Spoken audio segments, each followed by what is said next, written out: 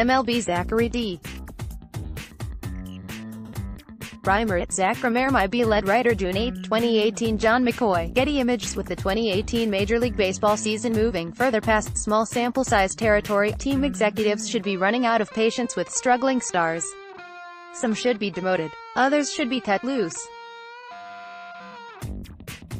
We're going to look at 8 stars, all of whom are healthy, as it's not fair to pick on guys who are on the disabled list, who are deserving of either treatment. Some of them are making quite a lot of money and are therefore difficult to nudge aside or cast off. But even with them, the prospect of paying them for nothing has become preferable to paying them to keep playing. Let's get this tough conversation started. Tim Warner, Getty Images The Houston Astros have given Ken Giles every opportunity to prove he's still a reliable closer. He's pitched in the ninth inning in all but one of his 23 appearances. So, it's not a good look that he's working on a 5.40 ERA. He's been even worse of late, as he's allowed 10 earned runs in 10 innings since the start of May. The snarky explanation is that this is the lingering effect from his self-administered punch to the face. In reality, his problems run deeper than that. The 27-year-old has failed to retain the career-best 98.1 miles per hour fastball that he had in 2017. Lo and behold, he's being met with more aggressive swings and more frequent contact within the strike zone. That's rendered his strikeout rate average and his slugging percentage worse than ever. The Astros shouldn't look to trade Giles while his value is down.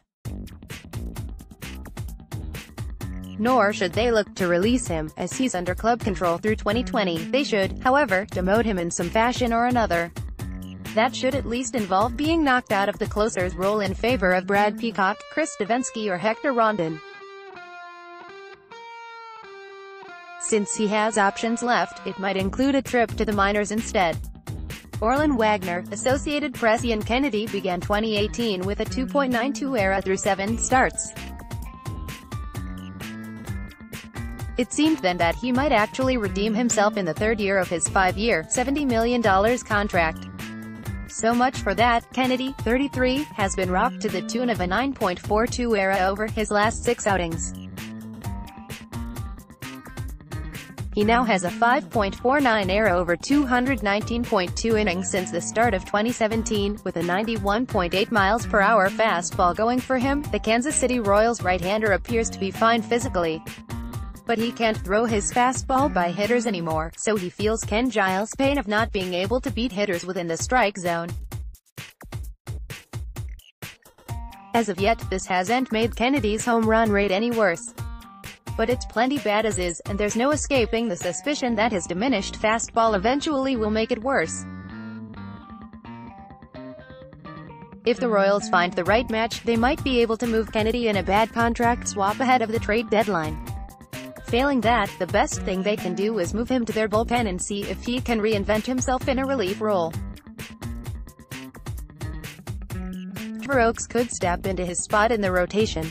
Steven Brashear, Getty Images Felix Hernandez's crown doesn't fit anymore. The longtime ace of the Seattle Mariners has a 5.33 ERA through his first 13 starts of 2018. This is coming on the heels of a 4.36 ERA in an injury-marred 2017 season, which followed an injury-marred 2016. King Felix is at least healthy this season, but that's not helping to reverse his damning trends. He threw in the mid-90s in his heyday. Now his average fastball is down to 89.1 miles per hour. In the meantime, his contact rate is progressing in the other direction. It's no wonder he's going full junk baller. He's only throwing his fastball 45.1% of the time, and only 40.9% of his pitches hit the strike zone. He's giving batters every excuse to wait him out. As his walk rate shows, they are. The 32-year-old is making $26.9 million this year, with another $28.9 million due beyond 2018. The Mariners may ultimately have to eat a lot of that money after releasing Hernandez. Before they get to that point, however, they should at least give him a shot at rejuvenating himself in the bullpen. Ariel Miranda or Christian Bergman could take his spot. Jane Caminancia, Getty Images, the five-year, $70 million contract that Ian Desmond signed with the Colorado Rockies ahead of 2017 was a disaster out of the gate, and it's not getting any better in 2018. The 32-year-old has come to the plate 232 times and put up just a .663 ops. Downright terrible for a guy who gets to hit at Coors Field half the time, and it proves that thin air and big alleys can't help a guy who's recording strikeouts and ground balls at a record-setting rate. Now, it's only fair to note that Desmond's offensive production has been on the way up since May. but he's still just a .211, .293, .459 hitter in this span, part of a slump that stretches back to the 2016 All-Star break. It's too early in his contract for the Rockies to release Desmond, of course.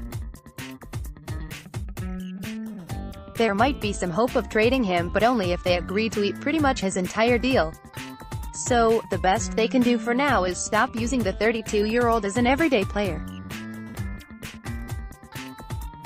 It just so happens that hitting left-handed pitching is the one skill of Desmond's that's dying hard. The Rockies also happen to have several left-handed hitters, e.g., Ryan McMahon, Carlos Gonzalez and Gerardo Parra, for him to platoon with. Rob Carr, Getty Images The most amazing thing about Chris Davis isn't that he's the worst player in baseball in just the third year of a seven-year, $161 million contract. It's actually that he's still getting worse. The 32-year-old has been stuck on four home runs since May 9th, and his OPS has counted all the way down to .464. This is a remarkable fall for a guy who had a .923 ops and 47 homers as recently as 2015, but it's not happening by accident. Annual decreases in his average launch angle and average exit velocity are killing his power. Pitchers are exploiting this by attacking him in the strike zone and rendering his plate discipline largely useless. So, Baltimore natives, including Jim Palmer, have a right to be getting restless. At this rate, there's basically nothing the Orioles can do to save Davis's contract from catastrophe. The countdown to his inevitable release is on. The one thing they can do for now, though, is to put him in a strict platoon role with Mark Trumbo and or Trey Mancini and see if that helps. For while he actually has reverse splits this year, he's typically hit right-handers a lot better than left-handers. Dylan Buell, Getty Images Although he's technically in the final year of a $154 million contract, the New York Mets signed Adrian Gonzalez to play for just the Major League minimum in 2018. It seemed like a decent idea for a while, as he compiled a respectable .793 ops through May 7. Since then, however, he's sunk to mediocrity and beyond with a .581 ops, so it goes for the 36-year-old veteran. Once a 40-homer slugger for the San Diego Padres back in 2009, Gonzalez ceased being an elite hitter when he was with the Boston Red Sox in 2012. He was barely a good hitter with the Los Angeles Dodgers by 2016, and he's managed just a .662 ops since the start of 2017. Only one first baseman, more on him later, has done worse. The Mets can't benefit from trading Gonzalez, but they can benefit from cutting him loose. That would open up an opportunity at first base for former prospect Dominic Smith. If he fumbles it, the opportunity can pass to red-hot prospect Peter Alonso. If both fail, first base is a good place to move Jay Bruce. In any event, it's not as if the Mets have to worry about contending at this point. They're just 16 to 31 since April 14, so that ship has sailed. Duane Burleson, Getty Images Just like they were in 2017, the Detroit Tigers are paying Victor Martinez $18 million to hit. And just like in 2017, he's not.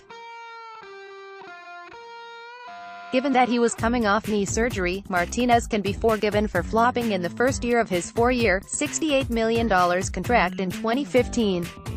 He can also be commended for bouncing back with an .826 ops and 27 homers in 2016. Since then, however, the 39-year-old has mustered just a .685 ops. In fairness, there is a good distance between where Martinez's slugging percentage is .360 and where it's expected to be .482 based on the quality of his contact. But since that was also the case last year, the Tigers shouldn't put too much faith in that as a sign of an imminent turnaround. What they should do is cut Martinez loose and replace him with a young player who deserves a shot.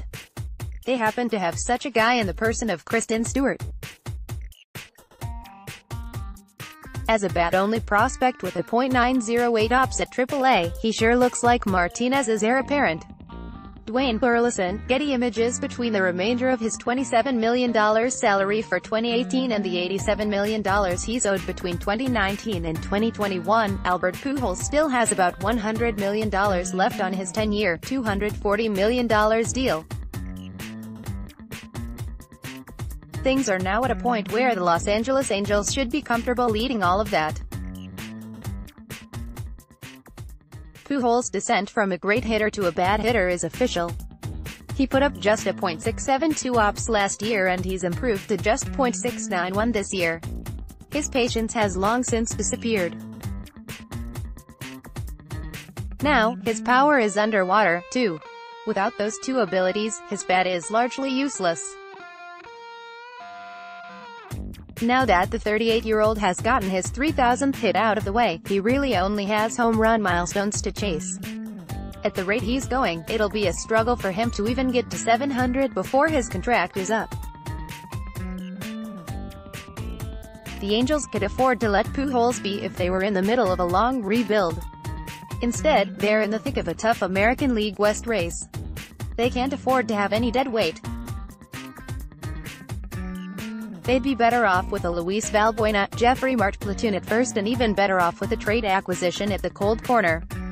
Neither is possible as long as Pujols is in the way. Stats courtesy of Baseball Reference, Fangraphs and Baseball Savant.